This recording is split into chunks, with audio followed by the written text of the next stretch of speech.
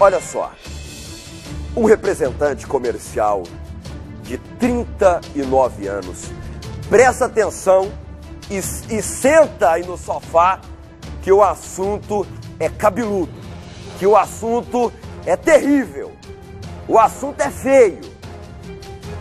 39 anos, representante comercial, foi preso no exato momento em que baixava e compartilhava imagens de pornografia infantil aqui em Goiânia.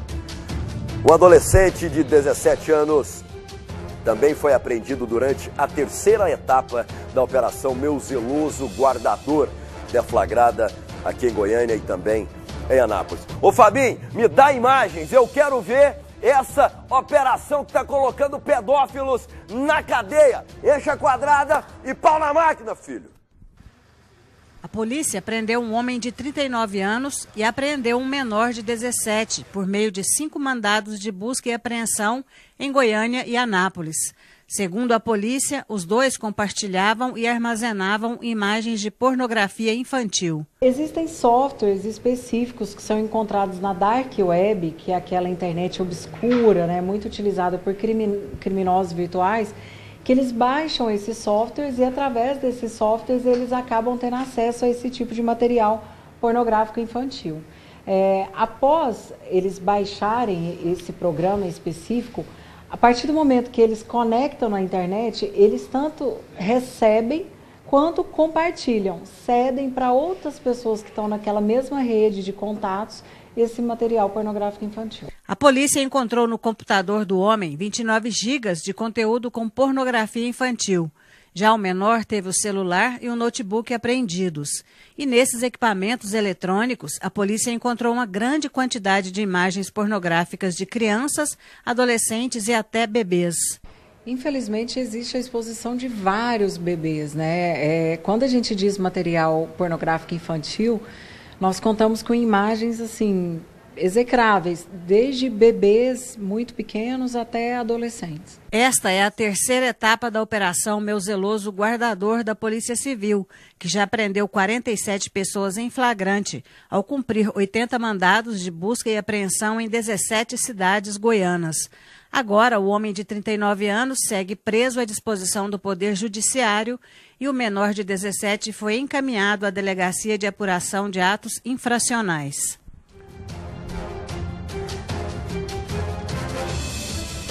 Que demônio é esse que vive em um cara desse? Isso é alguma coisa sobrenatural. Isso é alguma maldição. Imagens de bebês, de bebês, de crianças. Que desejo é esse? Desse cidadão. Que absurdo é esse que nós estamos vivendo? Aonde, meu querido de casa, minha querida que está, que está acompanhando Goiás contra o crime? Abra o olho. Nós que somos pais, as mães, a gente corre um grande perigo, um grande risco de ter as imagens dos nossos filhos vazadas para essa quadrilha que usa isso para o seu prazer. Vou falar um negócio. Eu vou te contar um negócio. Eu, a gente noticia aqui todos os times de todos os, os tipos de crimes. Mas tem alguns que nos chocam mais do que os outros.